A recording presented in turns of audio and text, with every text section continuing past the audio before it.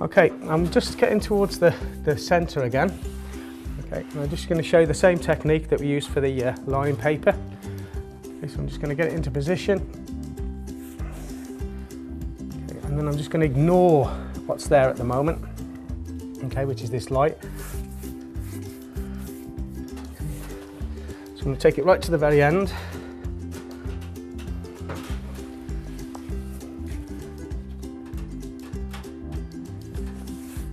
Okay, don't brush it down because otherwise it's going to crease. Okay, just leave it, it's not going to fall off.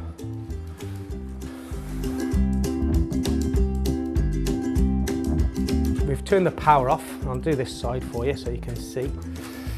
Okay, so I've got my knife. Okay. And then we go to the point that's closest to me, which is there.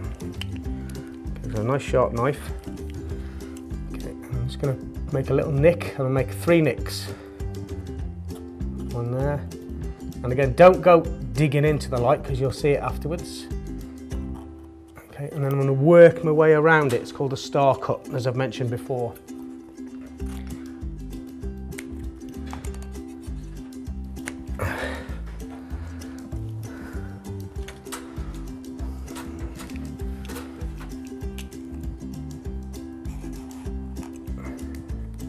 I'm being very gentle with my knife, not to mark the actual ceiling rose. Okay. Just work a little bit more of a joint there.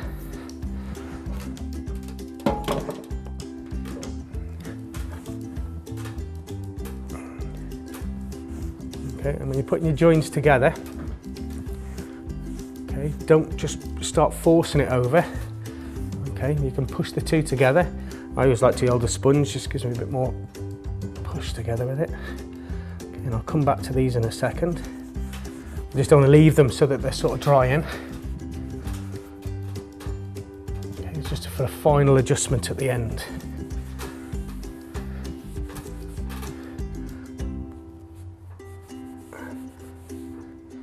So one side done.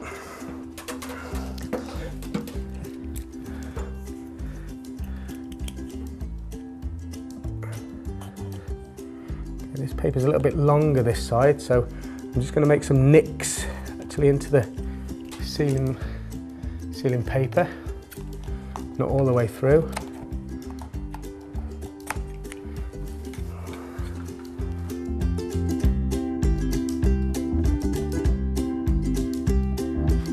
Right, now I've made the uh, nicks. Okay, I'm just going to get my caulking board.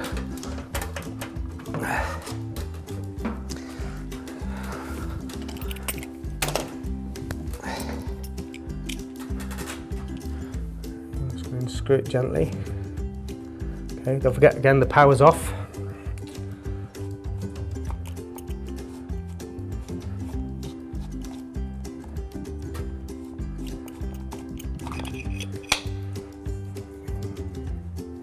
Okay, so I'm keeping it away from these wires in there. And again, get your caulking board, sharp knife. And then I'm just going to angle it around like this.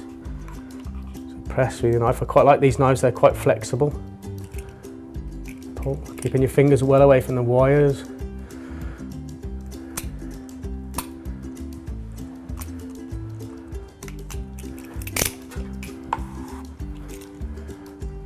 Okay, the reason it's not cutting particularly well is there's a little gap up the top there.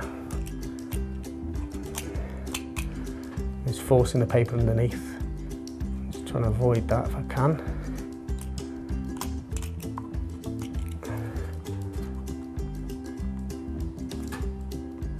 And it goes again in that little gap.